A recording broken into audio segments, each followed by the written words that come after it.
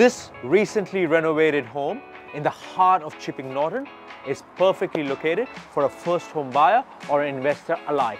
Let's take it through.